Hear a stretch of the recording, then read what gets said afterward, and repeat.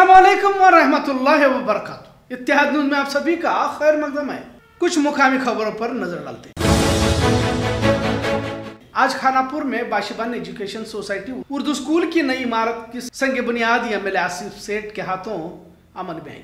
बाशिबान education society तालीमी मैदान में जाना माना नाम है लिहाजा खानापुर में बाशिबान स्कूल की पुरानी इमारत है लिहाजा नई इमारत के कमरों के काम को जल्द अंजाम दिया जाएगा ऐसा बाशिबान स्कूल इंतजामिया के जिम्मेदार जनाब दस्तगीर आगा ने इत्तेहाद न्यूज़ को बताया इस वक्त जिम्मेदारान बाशिबान हाई स्कूल स्टाफ और तलबा और तालिबात कसीर तादाद में शरीक रहे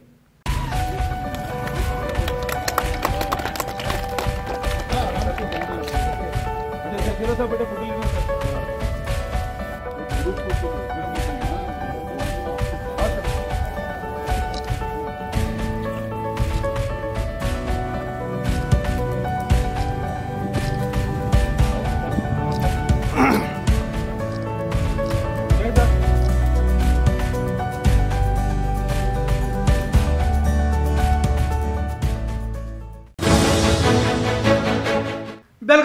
कारपोरेशन मामला दिन ब दिन संजीदा ही बनता जा रहा है। आज सबक मेयरों ने प्रेस मीट के ज़रिए मौजूदा कारपोरेशन की कैफियत पर अफसोस जताया और कहा कि कारपोरेशन का अपना वकार गिरता जा रहा है, उसका मर्तबा गिरता जा रहा है। मेयर पर मुकदमा दर्ज करने की वारदात अफसोसनाक कह सकते हैं, ऐसा भी कहा गया। इस वक्त सबक मेयर शिवाजी सुंटकर, नागेश सातेरी, रमेश कुर्ची, लतीफ खान पठान रेणु किल्लकर मौजूद रहे।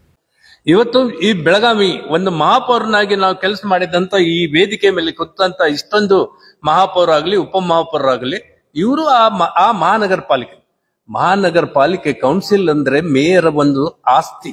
ಮೇಯರ್ ಬಿಟ್ಟು ಅಲ್ಲಿ ಒಳಗೆ ಯಾರಿಗೂ ಬರ್ಕೊಡುದು. ನಾನು ಮಣ್ಣಿನ ಕೌನ್ಸಿಲ್ ಮೀಟಿಂಗ್ ನೋಡಿದ ನಂತರ ಯಾರು ಬೇಕಾದವರ ಹೋಗತ್ತಾರೆ ಯಾರು ಬೇಕಾದವರ ಅಲ್ಲಿ ಒಳಗಿದ್ದಾರೆ, ಮೀಟಿಂಗ್ ನಡೀತಾ ಇದ್ದೆ ಏನಿದು ಅರ್ಥ ಇದೆಯಾ? ಇದು ಇದು ಕೌನ್ಸಿಲ್. ಇದನ್ ಕೌನ್ಸಿಲ್ ಒಂದು ಹಿರಿಮೆ, ಈ ಕೌನ್ಸಿಲ್ ಒಂದು ಅಸ್ತಿತ್ವವನ್ನು ಉಳಿಸ್ಕೋಬೇಕಾದ್ರೆ ಇದನ್ನ ನಾವು ನೋಡುವಂತ ಇವತ್ತು ಎಕ್ಸ್ ಮಹಾಪೌರ್ ಮೀಟಿಂಗ್ ಏನೀಗ ನಾಗೇಶ್ ಸಾತಿಯವರು ಮಾಲವ್ ಜಾಸ್ತೇಕರ್ ಲತೀಫ್ ಖಾನ್ ಪಠಾಣ್ರು ಮತ್ ಶಿವಾಜ್ ಸುಣ್ಕರ್ ಅವರು, ರೇಣು ಮೇಡಮ್ ಅವರು, ಇವರು ಎಲ್ಲ ಕುಂತು ಏನ್ ಏನು ವಿಚಾರ ಮಾಡಿದ್ದೇವೆ ಇದನ್ನ ಒಂದೇ ಅರ್ಥ. ಏನ್ ಮಹಾನಗರ ಪಾಲಿಕೆಯಲ್ಲಿ ಏನು ಜನರಿಗೆ ಅವ್ರಿಗೆ ಅಧಿಕಾರ ಕೊಟ್ಟಿದ್ದಾರೆ, ಯಾವುದೇ ಪಕ್ಷ ಇರಲಿ, ಯಾವುದೇ ಭಾಷಿಕರು ಇರಲಿ, ಎಲ್ಲರೂ ನಾವು ಒಂದೇ. ನಾವು ಬೆಳಗಾವಿ ನಗರದ ಜನರ ಸಮಸ್ಯೆಗಳನ್ನು ಈಡೇರಿಸಲಿಕ್ಕೇನೆ ಅಲ್ಲಿ ಹೋಗ್ತೀವಿ ಹೊರತಾಗಿ ರಾಜಕಾರಣ ಮಾಡಲಿಕ್ಕೆ ಅಲ್ಲ चुनाव नजदीक आते हैं तो सियासी लीडरों की चहल पहल भी बढ़ने लगती है इनके प्रेस कॉन्फ्रेंसेस भी होने लगते हैं आज सबक वजीर रमेश जारकिहोली ने प्रेस मीट के जरिए कहा कि मुझे कांग्रेस के दिगर कायदों से कुछ एतराजात नहीं है सिर्फ डी के शिव कुमार से हमारी खालिश है पिछली मर्तबा की तरह जल्द हुकूमत जाएगी और इसके लिए डी के शिव कुमार ही जिम्मेदार होंगे जल्द डी के शिव कुमार साबिक कायद कहलाए जाएंगे ऐसा भी इस वक्त उन्होंने कहा ಯಾರು ಬಿ ಜೆ ಪಿಯವರು ನಮಗೆ ದುಡ್ಡು ಕೊಟ್ಟಿಲ್ಲ ನಮಗೆ ಆಮೇಲೆ ಕೊಟ್ಟಿಲ್ಲ ನಾವು ಡಿ ಕೆ ಶಿವಕುಮಾರ್ ದುರಾಡಳಿತ ಅವ್ನು ಸೊಕ್ಕಿನ ಸಂಬಂಧ ನಾವು ಸರ್ಕಾರಕ್ಕೆ ಹಿಡಿದೀವಿ ಇವತ್ತು ಹೇಳ್ತೀವಿ ಅವಾಗ ಹಿಡಿದು ಇವತ್ತು ಹೇಳ್ತೀವಿ ಡಿ ಕೆ ಶಿವಕುಮಾರ್ ಸರ್ವಾಧಿಕಾರ ಧೋರಣೆಯಿಂದ ಅವತ್ತು ನಾವು ಸರ್ಕಾರ ವಿರುದ್ಧ ನಮ್ಮ ಬಂಡಾಯ ಎದ್ದು ನಾವು ಸರ್ಕಾರಕ್ಕೆ ಹಿಡಿದೀವಿ ನಮ್ದು ಯಾರು ಕಾಂಗ್ರೆಸ್ ಪಕ್ಷದ ವಿರೋಧರು ಹಾಕಿಲ್ಲ ಸಿದ್ದರಾಮಯ್ಯ ವಿರೋಧ ಹಾಕಿಲ್ಲ ಖರ್ಗೆ ವಿರೋಧ ಹಾಕಿಲ್ಲ only D K Shivakumar company ಸಂಬಂಧ ನಾವು ವಿರೋಧ ಮಾಡಿ ಪಕ್ಷಕ್ಕೆ ಮಾಡಿದ್ವಿ ಇವತ್ತು ಭಾರತೀಯ ಜನತಾ ಪಕ್ಷ ಹೆಸರುಗಳಿಸಲಿಕ್ಕೆ ಕೆಲವು ಡಿ ಕೆ ಶಿವಕುಮಾರ್ ಅನ್ಯಾಯಿಗಳು ಮಾತಾಡ್ತಾರೆ. ನಾವು ಏನೂ ಅದರಲ್ಲಿ ಒಂದು ಕ್ಷಣ ನಮ್ಮದು ಅದರಲ್ಲಿ ಪಾತ್ರ ಇಲ್ಲ. ಅದು ಯಾಕಂದರೆ ಸುಳ್ಳು ಪ್ರಚಾರ ಮಾಡಿ ಸುಳ್ಳು ಗ್ಯಾರಂಟಿ ಕೊಟ್ಟು ಸರ್ಕಾರ ಬಂದದಕ್ಕೆ ಎಲ್ಲ ರಂಗದಲ್ಲಿ ಕಾಂಗ್ರೆಸ್ ಪಕ್ಷ ಫೇಲ್ ಆಗಿದೆ. ಅದನ್ನು ಜನರು ದಾರಿ ತಪ್ಪಿಸಲಿಕ್ಕೆ ಅದನ್ನು ಸುಳ್ಳು ಪ್ರಚಾರ ಮಾಡಿ ತಮ್ಮ ಪಕ್ಷಕ್ಕೆ ಏನು ಸುಳ್ಳು ಹೇಳಿದಲ್ಲ ಅದನ್ನು ನಮ್ಮ ಜನರ ಜನ ನಾಲ್ಕು ರೊಚ್ಚ ಕೇಳ್ಬಾರ್ದು ಅದನ್ನು ಒಂದು ತಪ್ಪು ಹೇಳಿಕೆ ಮಾಡಿದ್ದಾರೆ ಅದನ್ನು ಅದನ್ನು ಕ್ಲಿಯರ್ ಮಾಡೋಕ್ಕೆ ನಾ ಕ್ಲಿಯರ್ ಮಾಡೋಕ್ಕೆ ನಾನು ಇವತ್ತು ಪತ್ರಿಕೆ बरोज इतवार को किन्नर समाज का फैशन शो पहली मर्तबा बेलगाम शहर में किया गया इस वक्त काफ़ी तादाद में आवाम ने भी शिरकत फरमाई थी। फ़ैशन शो कुमार गंधर्व रंग मंदिर में रखा गया था। किन्नरों को समाज में अलग नज़रिए से देखा जाता है। लेकिन आज समाज के मुख्तलिफ़ शोबों में भी किन्नर समाज नज़र आ रहा है, ऐसा कहा गया।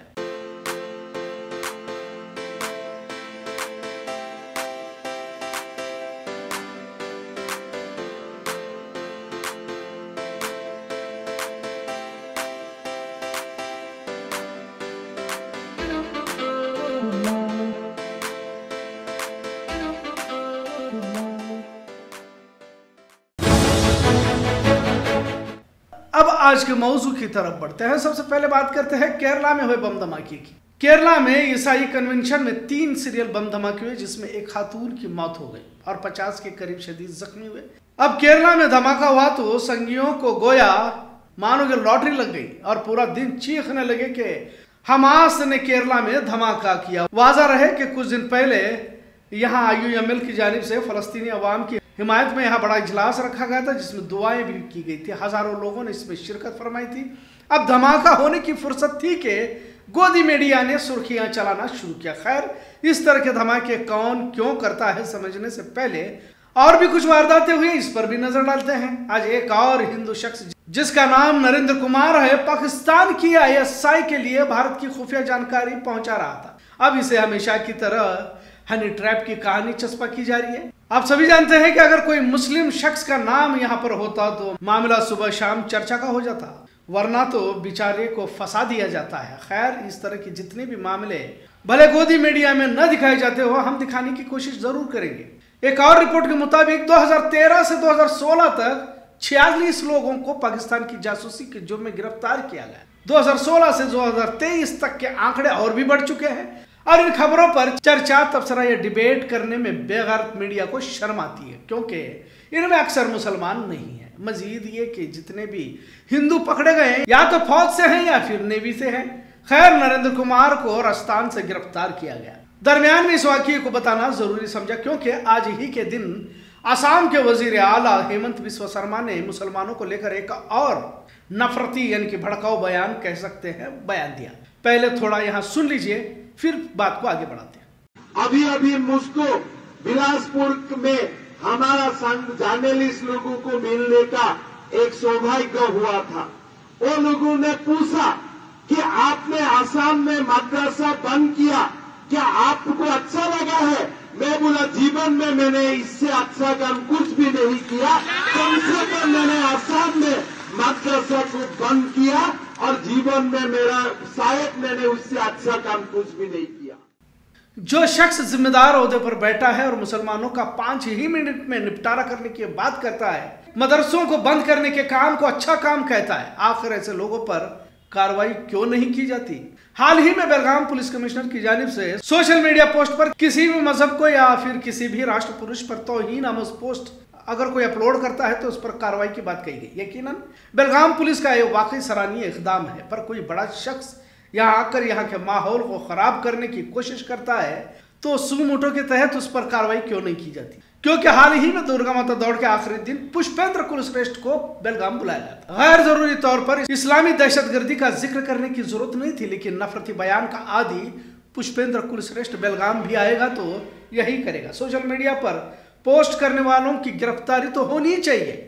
लेकिन इसके पीछे की विचारधारा या इसके पीछे के संगठन पर भी कार्रवाई होनी चाहिए, तभी जाकर समाज में नफरत फैलाने वालों पर नकील कसी जा सकती है। बात करते हैं फिर से केरला धमाके की, जैसा लेकर मुल्क की सतह पर माहौल को तशद में तब्दील करने की कोशिश की जा रही थी। ब्लास्ट के 20 मिनट में 20 सुर्खियाँ हमास का केरला कनेक्शन बताया जा रहा था। अच्छा हुआ कि डोमिनिक मार्टिन ने ज़िम्मेदारी लेते हुए धमाके की भी ज़िम्मेदारी ली, पर मामला यही खत्म नहीं होता, क्योंकि डोमिनिक मार्टिन की ज़ुबान भी कहीं तो फिरका परस्तों की नज़र आ रही है। उसने अपने बयान में कहा कि ईसाइयों का यह गिरोह भारत विरोधी है और वीडियो बनाने की पीछे का मकसद भी बयान किया। मार्टिन ने कहा कि यह विटनेस एक ईसाइयों का गिरोह है। इसका पिछले 16 सालों से कारकुन रह चुका हूँ। छह साल पहले मुझे एहसास हुआ कि यह तंजीम देश विरोधी है और देश मुखालिफ सरगर्मियों में मुलविस है। राष्ट्रगान का यहाँ विरोध किया जाता है, यहाँ तक के फौज में भी जाने से मना किया जाता है। लिहाजा इस काम को यानी कि धमाके को अंजाम दिया। धमाके का सियासी फ़ायदा उठाने की कोशिश भाजपा कर रही है, ऐसा भी सीएम विजयन ने बताया। जाँच की ज़िम्मेदारी एनआई ने ली है, पहले तो ये डोमिनिक मार्टिन कौन है इसकी तहकीक होनी चाहिए। अब धमाकों को अंजाम देने की क्या ज़रूरत थी? और एक शख्स क्या इस तरह के धमाकों को अंजाम दे सकता है? आखिर इसके पीछे कौन सा संगठन है? क्या इसका नाम मार्टिन ही है या कोई और? क्योंकि इसके पहले भी हमने इस तरह की वारदातें देखी है। नांदेड़, जालना परबनी केरला, मध्य प्रदेश, चेन्नई और भी दिगर जगहों पर आरएसएस के कारकुनान को धमाकों के लिए जिम्मेदार ठहराकर हिरासत में लिया गया था। यहाँ तक और भी फिरका परस्त तंजीमों के अफरादों को मुख्तलिफ़ फिल्मी माहिरीन और धमाकों के जुर्म में पूछताछ के लिए गिरफ़्तार भी किया गया था। नांदेड़ में नकली नमाजी टोपी, ताकि मुसलमानों पर ये पूरा मामला थोप दिया जाए। नकली नमाजी टोपी, दाढ़ी तस्बी भी बरामद की गई थी। एक घर में बम बनाने की मशक जारी थी, तब अचानक धमाका हुआ, जिसमें दो अफराधों की मौत भी हुई थी। मालेगांव धमाका भी इसी नहज पर था। सैकड़ों लोग मारे गए। केरला में ही 12 अप्रैल 2023 को बम बनाते वक्त आरएसएस का कारकुन जख्मी हुआ। 31 अगस्त 2022 की रिपोर्ट के मुताबिक आरएसएस का सबक संघ प्रचारक रह चुका। यशवंत शिंदे ने आरएसएस मुल्क के मुख्तलिफ़ शहरों में बम धमाके कैसे करता है और कहाँ कहाँ तरबियत कैंप चलाए जाते हैं इस पर सनसनीखेज बयान अदालत के सामने दिया था। लिहाजा इन तमाम के मद्देनजर केरला बम धमाके की स्टोरी भी, क्योंकि केरला स्टोरी काफ़ी मशहूर है, केरला बम धमाके की स्टोरी भी आवाम के सामने आना ज़रूरी है, क्योंकि कोई एक फर्द इसे अंजाम नहीं दे सकता। इसका दूसरा पहलू यह भी समझने की ज़रूरत है कि फलस्तीन, इसराइल जंग के बहाने भारत में हिंदू मुस्लिम करने की कोशिश की जा रही मुल्क की एकता अखंड तक का यहाँ का संविधान को नुकसान पहुँचाने की साजिशें जोरों पर है। कुछ लोग तो यहाँ पर संविधान को ही नहीं मानते। मुस्लिम कौम आज भी गफलत की नींद में है। किसी तरह हर मामले को मुसलमानों की तरफ़ मोड़ मोड़कर 2024 के चुनाव में फिर से भाजपा इकतदार पर आना चाहती है। लिहाजा केरला धमाका भी एक साजिश की तरफ़ इशारा कर रहा है। हमास का केरला कनेक्शन दिखाने की कोशिश संघी मीडिया और आईटी सेल की जानब से की जा रही थी। भारत के बदलते हालात और रोज बरोज मुसलमानों को निशाना बनाने की वारदातें सोचने पर मजबूर ज़रूर कर देती है। पर क्या मुसलमानों को, मुस्लिम नेताओं को या दीन कायदीन को कुछ फ़र्क पड़ता तो नज़र नहीं आ रहा इतना ज़रूर। आज का मौजूद कैसा लगा इस पर ज़रूर कमेंट करें। इतिहाद देखने के लिए शुक्रिया। अल्लाह हाफिज़।